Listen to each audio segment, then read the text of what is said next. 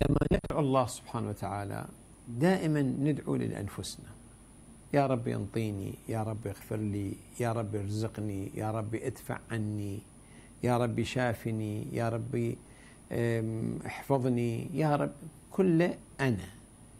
هاي النون والياء على حال كلها ترجع إلى نفسي. شافني عافني ارزقني اعطني. يا ال شنو؟ تمليك إلي أنا هذا طبع. فإذا تقول له يابا أنت الآن اسمعوا جيدا هذه راح أقولها بشكل واضح. لو قيل لي أنه آه، عندك ساعة عندك ساعة آه، مهمة جدا وراح تكون في موقف مهم جدا وقد يستجاب الدعاء. يستجاب الدعاء. زين. وأنا لازم أقعد أفكر شلون أدعو ولمن أدعو وشلون أدعو بماذا أدعو. أنطوني فرصة لمدة ساعة.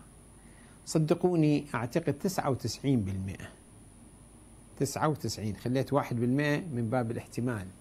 99% من الناس لما تقول له أعطيني الأدعية اللي راح تدعيها في خلال هالساعة راح أشوف كلها الصب بمصلحته.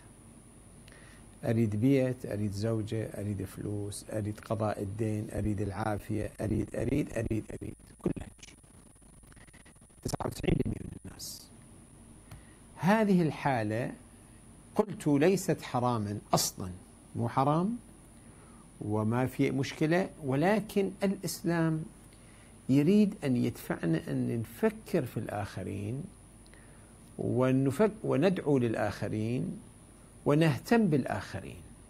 هذا انصافا الروايات الشريفة وتعاليم أهل البيت تدفع بهذا الاتجاه.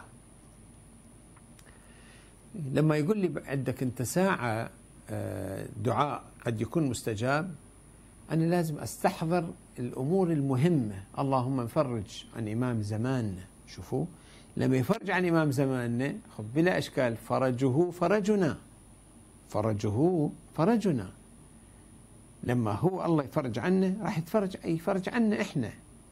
عن عن الإمام إذا الله فرج عنه صلوات الله عليه إحنا راح ينفرج عنه.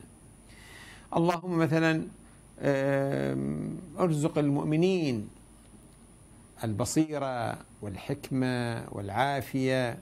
المؤمنين إذا صاروا أصحاب حكمة وعقل وبصيرة مجتمع هواية راح مشاكل تخف قضايات تخف وتعمل شنو؟ تعمل السعادة. فالتفكير أن أدعو للآخر أن أدعو للآخرين هذا أمر مهم جدا وليس قضية فقط أن تنكر نفسك وتم وتقلل أنانيتك. ليس فقط هذا بقدر ما أنه الله سبحانه وتعالى يرغب في هذا الاتجاه. يعني يرغب أن الإنسان يدعو لغيره.